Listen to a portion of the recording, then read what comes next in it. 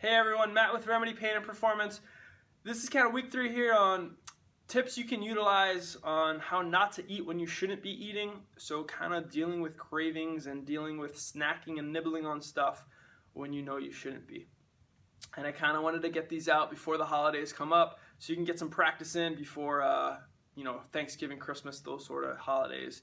And you can be an expert by then. Uh, so this week I wanted to talk about you know, post meal, so after you eat your dinner, your lunch, or whatever it is, um, and then craving dessert or a snack after your meal, an easy thing you can try and utilize if you struggle with that.